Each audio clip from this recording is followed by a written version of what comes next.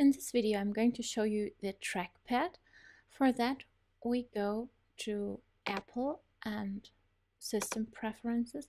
There is not just the mouse you can use to control your computer but also the Apple trackpad.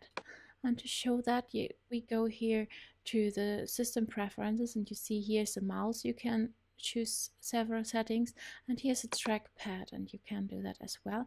And the best thing is that here are some videos which show you what is working and what not. So when I go here you see there's also a secondary click with with a trackpad and um, you can easily look up things and you can use all three fingers to drag and drop things around there is more you can do with a trackpad. Very natural controlling, like, you know,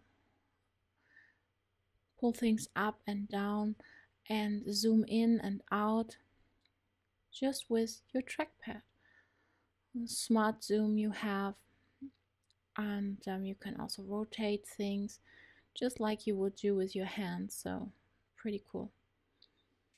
And there are even more gestures. So, swipe between pages, for example, also very nice. Or you can swipe between full screen apps. Or in the notification center is also pretty helpful. You see here's much more you can do with your trackpad. So in case you do not really like the mouse, the magic mouse, this might be something for you.